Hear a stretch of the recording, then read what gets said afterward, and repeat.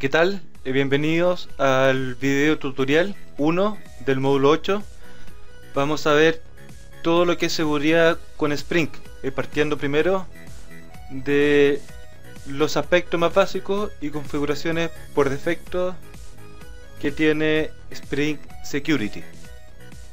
Entre los ejemplos que vamos a ver, vamos a, comenzar con uno donde se registran o almacenan los usuarios y roles en memoria. Luego vamos a personalizar un poco eh, la vista de formulario y la pantalla después de que se haya realizado login. Es decir, una página de login de éxito. Eh, también podemos eh, modificar la pantalla de cuando ocurre un error en el login. Por ejemplo, usuario o contraseña no son válidas, la página después del logout, que también se puede cambiar, y también se puede cambiar la pantalla de acceso denegado, cuando el usuario trata de acceder a un recurso y no tiene los permisos suficientes. Entonces, estas son las, páginas que podemos eh, modificar y podemos implementar a nuestra pinta por defecto Spring tiene pantallas por defecto para todo este tipo de, cosas. Ahora son pantallas eh, bastante simples, sin un diseño acabado ni nada por el estilo. Eh, bien, entonces vamos a comenzar con el ejemplo más básico. Bueno, y también lo otro importante es destacar que después vamos a ver ejemplos con guardar o almacenar eh, los datos de los usuarios, los roles y permisos en la base de datos. Ejemplos con, con data source usando JDC, luego vamos a ver ejemplos con Hibernate, en fin, ahí uno puede implementar a su propio gusto heredando de una clase abstracta o implementando también interfaces. Bien, Vamos a los ejemplos. Y como siempre vamos a crear el working set, el último del curso del módulo 8. Y vamos a importar los proyectos que tenemos para este módulo final.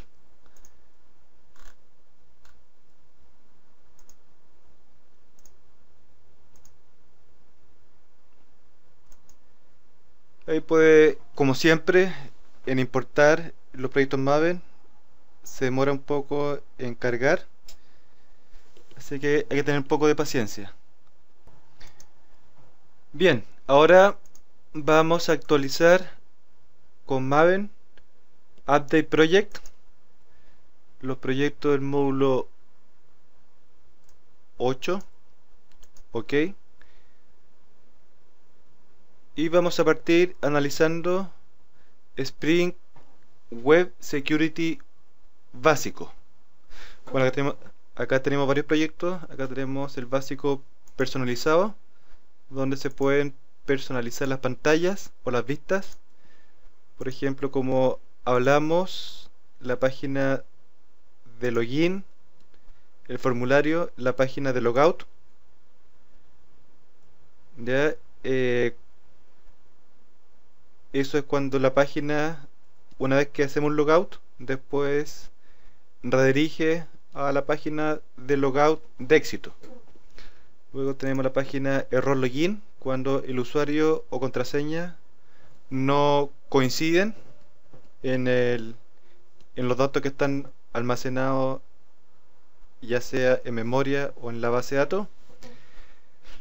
Página de acceso denegado cuando el usuario accede a un recurso y no tiene permiso y la página después del login. Entonces, después vamos a ver el ejemplo JDC básico, el JDC con un query o una consulta personalizada. Entonces, acá podemos proponer nuestras propias tablas y campos para, para guardar los usuarios y también nuestra propia tabla para los roles. El básico Spring propone un esquema de tablas por defecto que se tiene que respetar para que el query que maneja Spring por debajo coincida con nuestro esquema. Y lo mismo JDS DAO Implement, que es un JDBC implementado por Spring para trabajar con seguridad. Y también podemos implementar nuestro propio DAO Implement o clase service de seguridad con JDC o bien con Hibernate. Entonces, esos serían los ejemplos que vamos a ver. Vamos a partir primero por el más básico. Vamos a comenzar con la configuración. Bien, eh, la configuración, primero vamos a partir con el POM XML con la dependencia de Spring Security, que es bien importante. Entonces, aparte de tener, eh, bueno, eh, Spring Context, Spring Web MS, hay que incluir las librerías y dependencias Spring Security. Por ejemplo, el core, web, config. Esas serían las principales. Luego hay que agregar un, un listener en el web XML. Perdón, un filtro. Entonces nos vamos al web inf y en el web XML tenemos el filtro. Acá tenemos Spring Security y acá tenemos el filtro. Importante que este filtro lo tengamos incluido eh, como último en el orden configurado en el web XML. Por ejemplo, si acá tenemos otro filtro, es bueno que vayan primero los demás y al final vaya el de Spring Security. En este caso, eh, solamente tenemos el de seguridad de Spring. Así que en este ejemplo da lo mismo. Entonces importante Spring Security Filter Chain. Y acá es el filtro que se encarga de, implementar la seguridad. Entonces por cada request, por cada request o URL que tengamos con seguridad, este filtro la va a capturar y va a revisar cuáles son los accesos y permisos para poder acceder a esta URL o recurso. Junto con el rule context separado por una coma se agrega el application context security. Entonces en este XML vamos a implementar nuestra seguridad y nuestras configuraciones entonces también es importante tener el Application Context Security que se configura en el web XML o se registra en el web XML. Ahora veamos el Spring Application Context Security. Entonces esta sería la configuración principal de Spring Security. Este es nuestro archivo. Entonces acá podemos definir el elemento HTTP y con autoconfig en true automáticamente nos va a generar una configuración básica por defecto que va a incluir un formulario. Este formulario va a tener un action hacia una URL que se llama login. Esa URL la maneja el filtro que configuramos en el web XML y en el filtro va a, a realizar el, el proceso o va a cargar el, el componente que se encargan de realizar la autentificación. Según lo que tengamos configurado con el Authentication Manager. Y además del formulario de login nos proporciona también un logout y las pantallas después del, logout y después del login. por defecto. Luego podemos anidar eh, las URL que vamos a interceptar. Acá tenemos un patrón que contiene el mapping URL y en el atributo access le damos la regla o la restricción. Entonces, por ejemplo, eh, cualquier URL del primer nivel hola mundo y, como segundo nivel hola y lo que venga después, acá estamos usando un, un patrón, un wildcard. Entonces, todo lo que comience con hola mundo hola va a tener acceso solamente al rol supervisor. Y por ejemplo, esto podría ser como un, un administrador. Luego tenemos para todos los hola mundo, incluyendo hola o lo que sea, para el rol usuario, rol user. Es importante eh, también mantener el prefijo rol, porque lo maneja Spring por debajo. Luego tenemos el proveedor o el, el service o el user service, que en el fondo es el data source o la fuente de origen donde vamos a almacenar nuestros usuarios. Eh, en, en, este primer ejemplo lo vamos a guardar en memoria. Entonces acá estamos registrando varios usuarios con sus respectivos roles. Entonces, por ejemplo, Rod es supervisor, usuario y teller. Bruce es solamente usuario y teller, mientras que James y Andrés es user. No sé, con authorities le asignamos los roles. Puede tener uno o más separados por coma. Y le asignamos un, un nombre usuario y una contraseña, un password. Ahora, el password también se puede manejar, y por ejemplo, con encoding, MD5, por poner un ejemplo. Entonces se agrega por acá el, el password encoder hatch MD5. Y por supuesto, el password tendría que ser en formato MD5. Por poner un ejemplo acá, password rod le ponemos un MD5 y así con cada uno de ellos entonces debajo de Authentication Provider se especifica el password encoder hatch MD5 eh, también puede ser por ejemplo con con encoding SHA que es similar al ejemplo M5 pero se especifica el SHA en el, en el hatch. Y también, por supuesto, que en el password se le agrega esa codificación. Bien, pero vamos a dejar el ejemplo más simple, eh, como estaba. Ok, entonces ahora vamos a, ya que tenemos analizado nuestro ejemplo, vamos a ejecutar el, el proyecto, el security básico. Entonces, un Maven install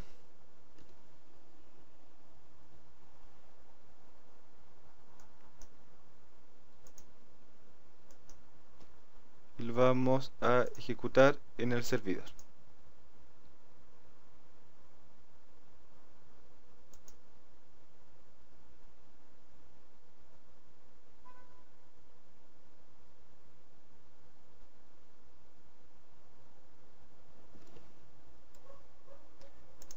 y acá lo tenemos.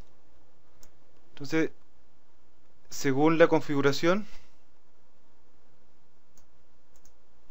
según la configuración el hola hola mundo hola.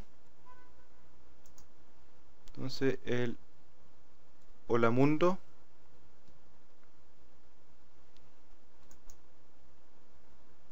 Cualquier hola mundo perdón cualquier hola mundo es para acceso a usuario y el hola mundo hola o que cumpla con ese patrón, por ejemplo, cualquiera de estos cuatro tiene que ser supervisor. Entonces vamos a acceder con con Andrés, que es usuario.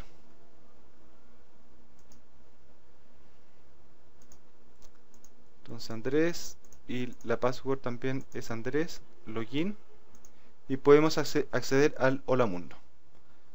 Y volvemos atrás. Entonces ya iniciamos sesión, ya tenemos acceso. Pero Hola Mundo Spring acá nos tira un 403 acceso denegado.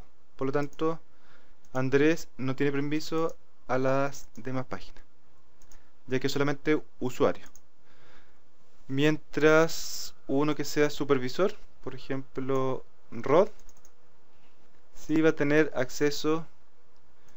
Bueno, primero vamos a cerrar esa sesión de Andrés, logout. Ahí está nuestra página por defecto, eh, nos tira a login. Vamos a volver a la página principal. ¿Se fijan? Esa es la URL de login y nos muestra un formulario login que es bastante básico. Ya, entonces ahora hola Spring, ahí está el formulario de login que es básico con la URL de login.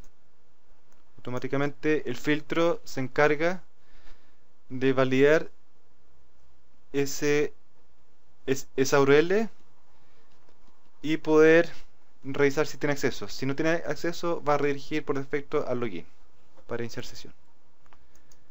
Entonces, acá tenemos acceso. Spring MVC también y también en las demás. Y por supuesto en Hola Mundo también. Mm, es bastante es bastante fácil de implementar. Vamos a cerrar sesión, entonces con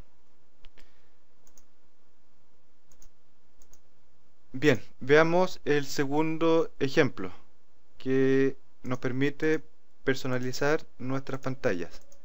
Por ejemplo, el formulario. Entonces, el segundo ejemplo, básico personalizado. Es bastante similar. El POM e igual, el web XML también. También maneja el filtro al final del web XML y tenemos en Spring el Application Context Security y acá hay un par de cambios. Primero notamos que tenemos el form login nuestra pantalla o, vista de login con algunos atributos. Por ejemplo con nuestra página de login personalizada. Mi página login es nuestra URL donde tenemos el default target URL que mi página después de login o mi página de login de éxito. El atributo siempre en el fondo que siempre eh, se vaya a la página target cada vez que iniciamos sesión nos redirige a la página de éxito que tenemos configurada o la página eh, target que sería la de acá arriba. Si ponemos false y por defecto nos va a redirigir a la página que queríamos acceder antes de que nos mostrara el login luego tenemos la página cuando falla el login mi página error login y la página de éxito de logout, una vez que, hacemos logout, nos redirige a esa página. Que por defecto es la, misma página login. Pero acá podemos especificar la que queramos. Y luego tenemos acá arriba acceso denegado, que es nuestra página de error 403 personalizada, para que no nos muestre ese error que es tan poco amistoso. Todas estas URL son, pueden ser controladores o un, mapping, un request mapping en una, eh, en una clase controller, o bien puede ser un controlador parametrizable que cargue solamente una vista que es lo que tenemos acá en el serle context para hacerlo más fácil creamos varios view controller que son controladores por defecto parametrizables y simplemente va a cargar la vista. Entonces para el pad mi página login va a cargar la vista mi página login y así con cada uno de ellos que es justamente lo que vimos en los primeros módulos. Creo que en el módulo 3 y eso sería la configuración importante. Entonces una forma es con view controller que son los controladores parametrizables o bien también podemos implementar un controlador para manejar cada una de estas páginas o vistas. Y acá tenemos las vistas. Entonces acá tenemos mi página después de login, que es una página de éxito. Ha iniciado sesión con éxito, con un mensaje. Y también nos da la opción para cerrar sesión. En cada formulario con seguridad hay que implementar o tener un campo hidden, un input hidden, que contenga el, el CSRF token, que es para evitar ataques del tipo cross-site request. Entonces, esto lo maneja Spring y siempre en todos los formularios que tengamos en, nuestra en nuestro proyecto hay que tener ese campo hidden incluyendo en el formulario de login y en el logout. Luego tenemos nuestra página de login. Acá implementada con bootstrap de forma con un diseño más elegante. Acá tenemos nuestro campo token input hidden y con user y contraseña por defecto el nombre del campo input para el user se tiene que llamar username. Ese es el nombre del, del username que maneja Spring Security por defecto. Y password es password entonces hay que respetar eso. Eso sería como regla general y también el action. El action tiene que ir hacia login, tal como lo vimos en el ejemplo anterior. Que este, esta página o request mapping lo maneja por defecto Spring por debajo a través del filtro. ¿Qué más? Bueno, el botón. Luego tenemos mi página logout en nuestra página de éxito de logout ha cerrado sesión con éxito nuestra página de error de login. El login ha fallado. Página de error. En fin acá podemos que podemos eh, colocar lo que lo que queramos. Página de error de acceso negado 403, error de acceso negado, un mensaje, en fin. Entonces, de esta forma podemos personalizar nuestro sistema de seguridad. Lo vamos a ejecutar. Primero un Maven install y lo ejecutamos en el servidor.